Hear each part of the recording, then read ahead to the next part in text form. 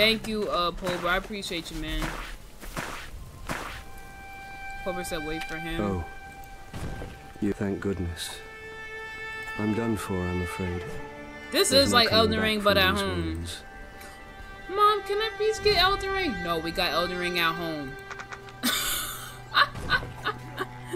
yo, yo, who was the one that said that, bro? Who's the one that said? Who's the one that said that?